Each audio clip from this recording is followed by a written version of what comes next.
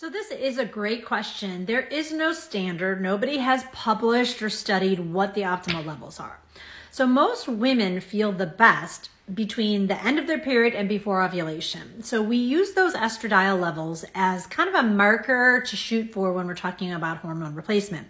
When you're talking about someone who's still cycling, generally it, the absolute level of estrogen doesn't matter as much as the balance between progesterone and we put you in a quartile. So let's just say you're 75th percentile that you want to make sure your progesterone's balanced. If you're postmenopausal and we're looking at serum levels anecdotally i can tell you that most people feel good between 50 and 80 some people feel better a little bit higher than that.